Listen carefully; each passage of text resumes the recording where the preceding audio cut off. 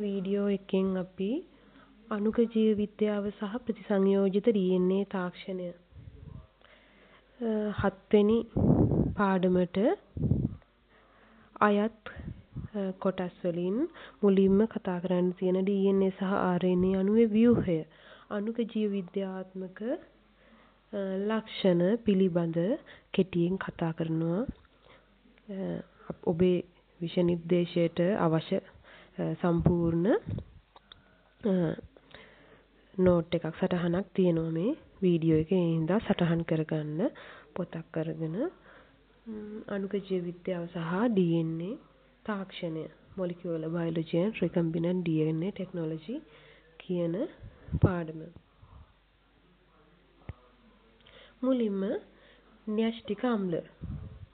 න්‍යෂ්ටික අම්ලයක් කියලා කියන්නේ කුමක්ද? න්‍යෂ්ටික අම්ලයක් යනු නියුක්ලියෝටයිඩ නම් තැනුම් ඒකක පොස්පෝඩයිඑස්ටර බන්ධන මගින් බැඳීමෙන් ඇතිවන විශාල අණුක භාරයක් සහිත ජෛව බහු අවයවික න්‍යෂ්ටික අම්ල කියලා හඳුන්වනවා. න්‍යෂ්ටික අම්ලයක් යනු කුමක්ද?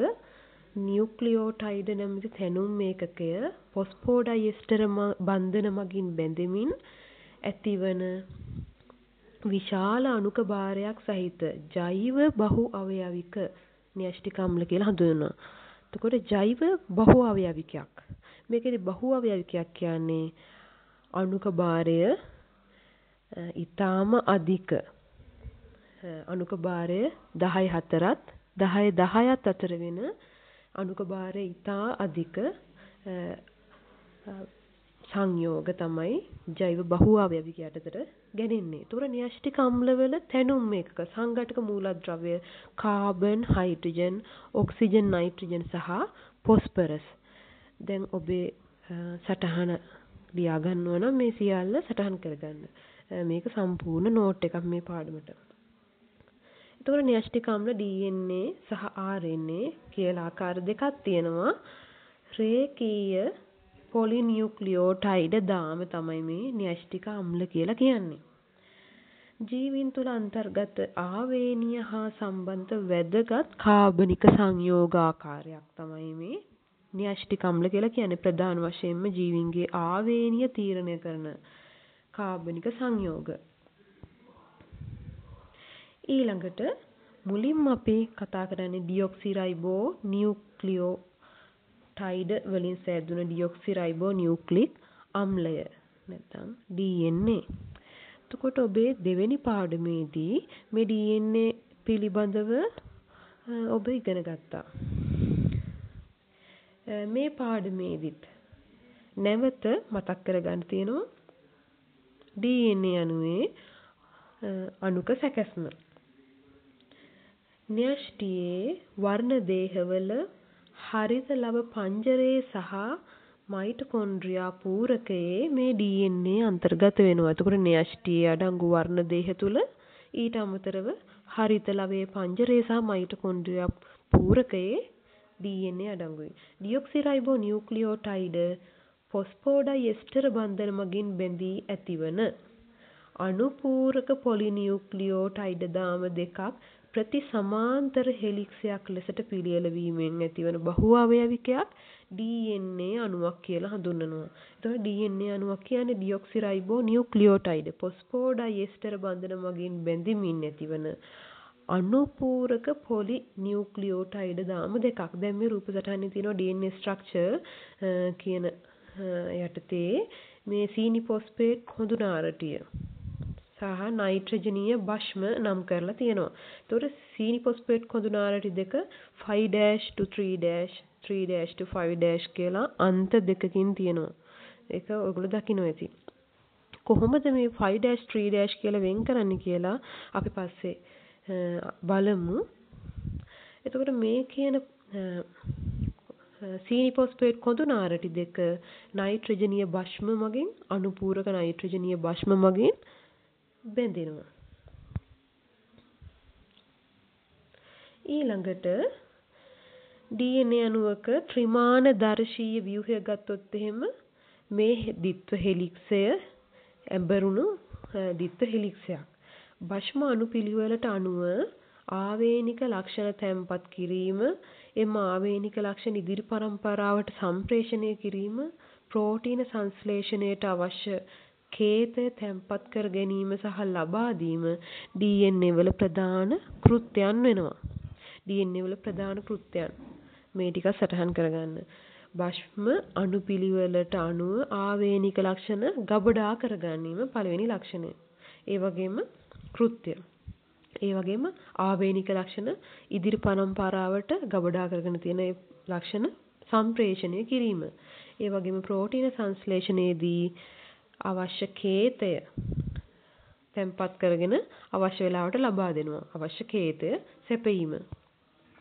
ඊළඟට DNA අණුවේ ව්‍යුහය ගත්තොත් ඩියොක්සිරයිබෝනියුක්ලියෝටයිඩ ෆොස්ෆෝඩයි එස්ටර බන්ධන මගින් සම්බන්ධ වී ඇතිවන පොලිනියුක්ලියෝටයිඩ දාම දෙකකින් මේ DNA අණුව සමන්විතයි. අපි කලිනුත් කතා කරා. එතකොට මේ තැනුම් මේකකය තමයි ඩියොක්සිරයිබෝ නියුක්ලියෝටයිඩ. ඒක තමයි මේ රූප සටහනේ පෙන්වන්නේ. ඩියොක්සිරයිබෝ නියුක්ලියෝටයිඩේ පළවෙනි අංකයෙන් පෙන්වන්නේ මේ ඔබ දැනටමත් දන්නවා පෙන්ටෝස් මොනොසැකරයිඩ් අණුව. දෙක කියන කොටසෙන් නයිට්‍රජනීය කාබනික භෂ්මය තුන ෆොස්ෆේට් කාණ්ඩය මේ විදිහටයි ඩියොක්සිරයිබෝ නියුක්ලියෝටයිඩයක් ඇඳ පෙන්වන්නේ දෙවෙනි පාඩමේදී කතා කරලා තියෙනවා. නියුක්ලියෝටයිඩ වල මොනොසැකරයිඩය ඩියොක්සිරයිබෝස් සීනි වෙනවා. නියුක්ලියෝටයිඩයක නියුක්ලියෝටයිඩවල මොනොසැකරයිඩය ඩියොක්සිරයිබෝස් සීනි වලින් සෑදිලා තියෙනවා. නයිට්‍රජනීය කාබනික භෂ්මය ඒ කියන්නේ මෙතන අංක දෙකෙන් අපි පෙන්වන්නේ නයිට්‍රජනීය කාබනික භෂ්මය. පියුරීනයක් හෝ පිරිමිඩීන අණුවක් වෙන්න පුළුවන්. පියුරීන ආකාර දෙකක් තියෙනවා. අපි පස්සේ කතා කරනවා කලින් කතා කරලා තියෙනවා ඇඩිනීන් සහ ගුවැනීන්. පිරිමිඩීන තයිමීන් සහ සයිටොසීන් අඩංගු වෙනවා. පිරිමිඩීන භෂ්ම ලෙස. පියුරීන භෂ්ම ඇඩිනීන් හෝ ගුවැනීන් පිරිමිඩීන තයිමීන් හෝ සයිටොසීන් අඩංගු වෙනවා.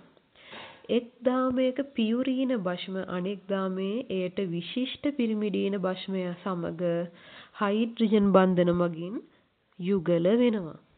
එහිදී ඇඩිනීන් සමග තයිමීන් හයිඩ්‍රජන් බන්ධන දෙකකින්ද හැම වෙලාවෙම ගුවැනීන් සමග සයිටොසීන් හයිඩ්‍රජන් බන්ධන තුනකින්ද සම්බන්ධ වෙනවා. එතකොට මේ පැත්තක තියෙන රූප සටහනේ පෙන්නනවා ඇඩිනීන් සහ තයිමීන් දෙකේ අණුක සැකැස්ම ඇඩිනීන් තයිමීන් සමග හයිඩ්‍රජන් බන්ධන දෙකක් අපිට දක්නට ලැබෙනවානේ. ගුවැනීන් සහ සයිටොසීන් අතර හයිඩ්‍රජන් බන්ධන රතු පාටින් තිත්තිරි වලින් පෙන්ලා තියෙන හයිඩ්‍රජන් බන්ධන තුනක් ඇති වෙනවා. පියුරීන භෂ්මයක් සමග නිශ්චිත පිරිමිඩීන භෂ්මයක් යුගල වන නිසා එක් දාමයක් අනෙක් දාමයට අනුපූරක දාමය කියලා හඳුන්වනවා. මේ අනුපූරක දාමය කියලා හඳුන්වන්න හේතුව තමයි කියලා තියෙන්නේ. පියුරීන භෂ්මයක් ඒ කට නිශ්චිත පිරිමිඩීන භෂ්මය සමග හැම වෙලටම බැඳෙන නිසා.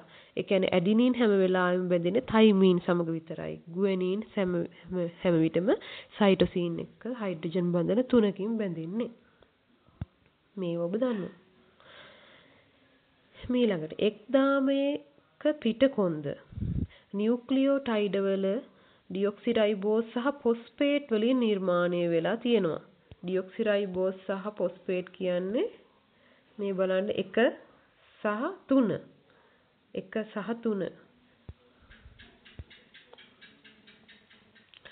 ඩියොක්සිරයිබෝස් සහ ෆොස්ෆේට් වලින් නිර්මාණය වෙනවා. ඒ නිසා මේකට කියනවා සීනි ෆොස්ෆේට් පිටකොන්ද කියලා. මේ සීනි ෆොස්ෆේට් පිටකොන්ද තියෙන්නේ බාහිරින්. දැන් මේක රතු පාට ඩොට් පේලියක් තියෙන්නේ සීනි ෆොස්ෆේට් පිටකොන්ද. නිල් පාට ඩොට් පේලියක් තියෙන්නේ ඒත් සීනි ෆොස්ෆේට් පිටකොන්ද. ඊළඟට නයිට්‍රජනීය කාබනික භෂ්ම ඉන් ඇතුළතට යොමු වෙලා තියෙනවා. ද්විත්ව හෙලික්සේ එක් සම්පූර්ණ දඟරයක භෂ්ම යුගල් සාමාන්‍යයෙන් 10ක් තියෙනවා. දැන් මෙතන භෂ්ම යුගල් 10ක් තියෙන්නේ සම්පූර්ණ දඟරයක. S හැඩයට තියෙන්නේ සම්පූර්ණ දඟරයක්. දැන් මෙතන මේ තියෙන්නේ අටේ ඉලක්කම වගේ. මෙතන නම් බන්ධන ඔව් මෙතන බන්ධන 10ක් පෙන්නලා සම්පූර්ණයෙන් පෙන්නලා නැහැ.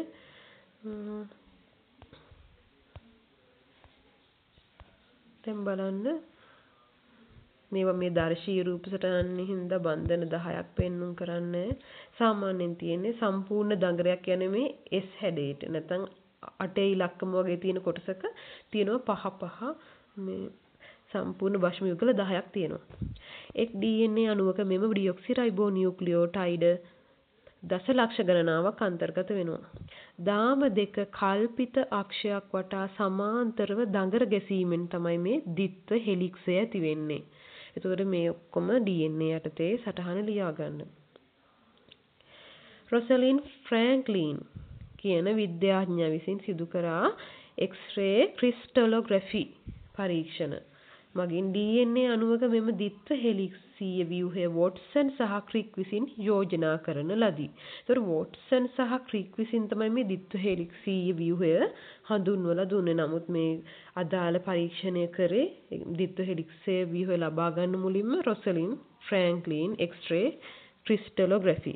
මේ X-ray crystallography යොදාගෙන වොට්සන් සහ ක්‍රික් විසින් මුලින්ම DNA අණුවේ වොට්සන් ක්‍රික් ආකෘතිය විස්තර කරා.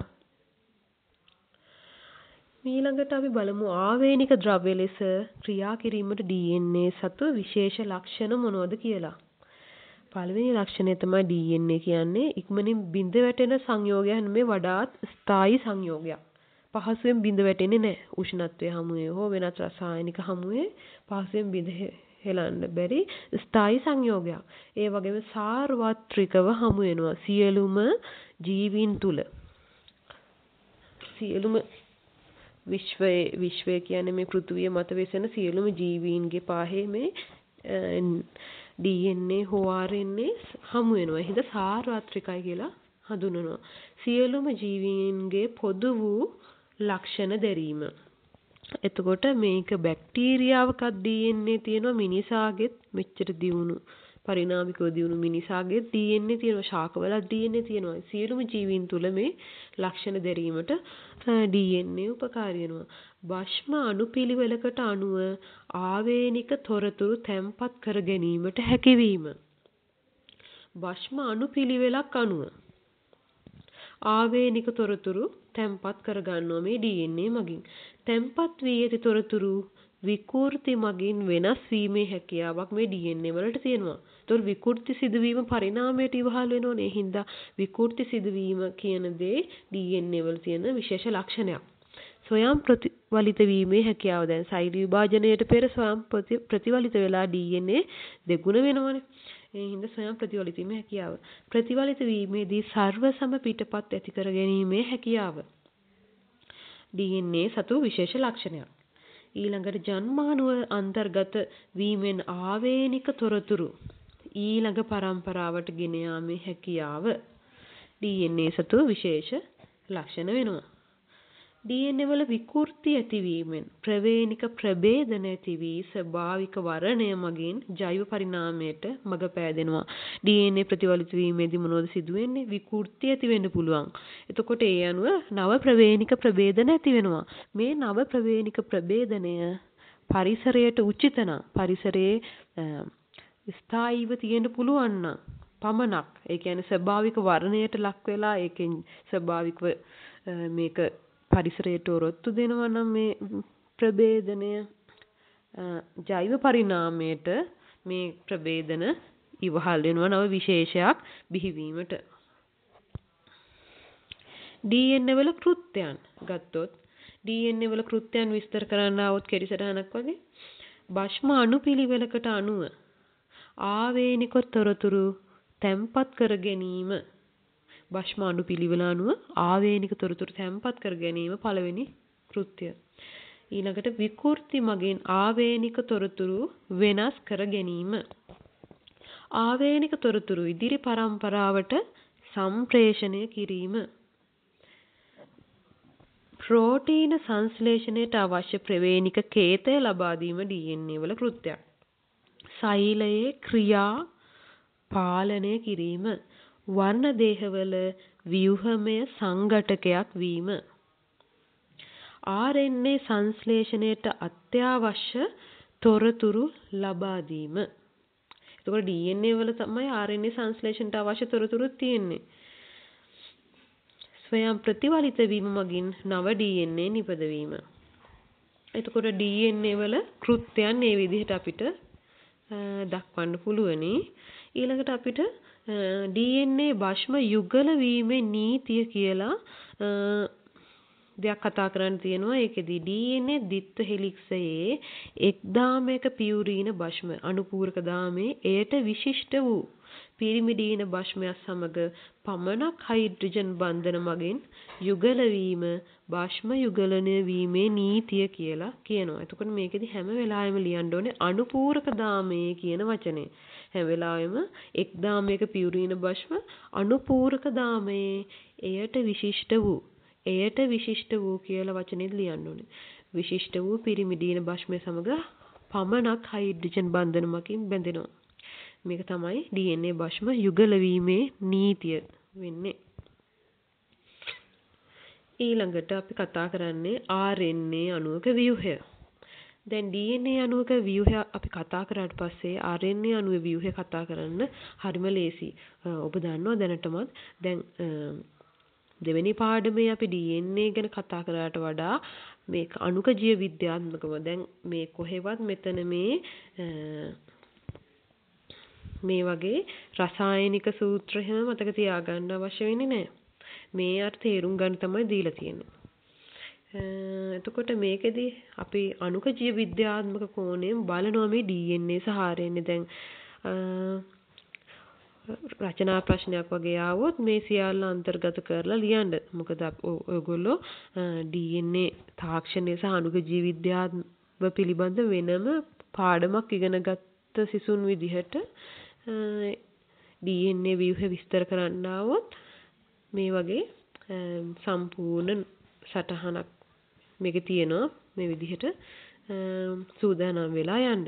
ඊළඟට RNA අණුවක ව්‍යුහය රයිබෝ නියුක්ලියෝටයිඩ දැන් DNA හැදෙන්නේ ඩියොක්සිරයිබෝ නියුක්ලියෝටයිඩ තැනුම් ඒකකයෙන් RNA වල තැනුම් ඒකකය වෙන්නේ රයිබෝ නියුක්ලියෝටයිඩ ෆොස්ෆෝඩයි එස්ටර බන්ධන මගින් සම්බන්ධ වීමෙන් නිර්මාණය වන තනි පොලිනියුක්ලියෝටයිඩ දාමයකට කියනවා RNA අණුවක් කියලා.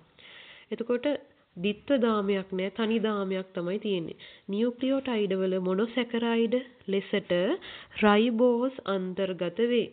දැන් ඩියොක්සිරයිබෝ නියුක්ලියෝටයිඩ වල මොනොසැකරයිඩය උනේ ඩියොක්සිරයිබෝස් සීනිනේ. මේ වගේ රයිබෝස් සීනි තමයි අන්තර්ගත වෙන්නේ මොනොසැකරයිඩය විදිහට. නයිට්‍රජනීය කාබනික භෂ්මය පියුරීන හෝ පිරිමිඩීන භෂ්මයක් වේ. DNA වල වගේම තමයි. කාබනික නයිට්‍රජනීය භෂ්මය පියුරීන හෝ පිරිමිඩීන භෂ්මයක්. හැබැයි පියුරීන භෂ්ම දෙක අර DNA වලට වගේම සමානයි. මොනවද පියුරීන භෂ්ම? ඇඩිනීන් සහ ගුවෙනින්. පිරිමිඩීන භෂ්ම DNA වලට වඩා වෙනස්නේ. සයිටෝසීන් තියෙනවා හැබැයි. තයිමින් නෑ. තයිමින් වෙනුවට තියෙන්නේ යුරැසීල්. යුරැසීල් සහ සයිටෝසීන් තමයි RNA වල පිරිමිඩීන භෂ්ම යුගල වෙන්නේ. RNA අණු දෙකක හෝ එකම අණුවේ නියුක්ලියෝටයිඩවල අනුපූරක භෂ්ම අතර භෂ්ම යුගල වීම ඇතිවිය හැකියි. හැබැයි RNA ද්විත්ව දාමයක් RNA ද්විත්ව දාමයක් නොවුනට RNA අනුපූරක භෂ්ම අනුපූරක භෂ්ම යුගලක් නැති වුණාට RNA අණු දෙකක් හරි නැත්නම් එකම නියුක්ලියෝටයිඩ අණු නැත්නම් එකම RNA අණුව නැවිලා හරි අනුපූරක භාෂම අතර යුගල වීමක් ඇති වෙන්න පුළුවන්. ඒකෙදි කොහොමද වෙන්නේ? මෙහිදී පිරිමි පියුරීන භෂ්මයක් ඊට විශිෂ්ට පිරිමිඩීන භෂ්මයක් සමග හයිඩ්‍රජන් බන්ධන ඇති කරනවා. ඇඩිනීන් තයිමින් නෑනේ. ඇඩිනීන් යුරැසීල් සමග තමයි හයිඩ්‍රජන් බන්ධන දෙකක් ඇති වෙන්නේ. ගුවැනීන් සමග සයිටෝසීන් හයිඩ්‍රජන් බන්ධන තුනක් ඇති වෙනවා. එතකොට ඒක මතක තියාගන්න ඇඩිනීන් හැම වෙලාවෙම හයිඩ්‍රජන් බන්ධන දෙකකින් යුරැසීල් සමගත්. ඒකත් නෝට් එකේ ලියාගන්න ලියද්දි. ගුවැනීන් හයිඩ්‍රජන් බන්ධන තුනකින් සයිටෝසීන් සමගත් සම්බන්ධ වෙනවා. ඊළඟට RNA අණුවක ව්‍යුහය මේ විදිහට එන්නේ. එතකොට සීනි ෆොස්ෆේට් පිටකොන්ද sugar phosphate backbone කියන්නේ සීනි ෆොස්ෆේට් පිටකොන්ද නයිට්‍රජනීය භෂ්ම nitrogenous bases. ඒ වගේම ඇඩිනීන්, යුරැසිල්, ගුවැනීන්, සයිටෝසින් කියන නයිට්‍රජනීය භෂ්ම තියෙනවා. RNA ප්‍රධාන ආකාර තුනක් තියෙනවා.